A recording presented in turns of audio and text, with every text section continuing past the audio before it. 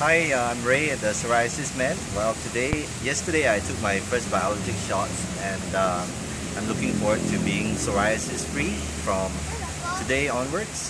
And uh, today I'm at church and I'm here to thank God for um, having me able to have this wonderful new life again with biologics and hopefully I'm looking forward to the results. Uh, over here now you can still see some psoriasis areas uh, next time I come around, I hope that, actually I believe they will all be gone. Yeah, I already see some improvement in terms of the um, inflammation of the eye. Uh, it has gone down, I can see clearer now. And of course, um, I can hear my voice getting better again. And I, I the psoriatic arthritis is so much better. I can like, you know, like jump around uh, and not really have a problem anymore. And that's really fantastic. So, yeah, amen.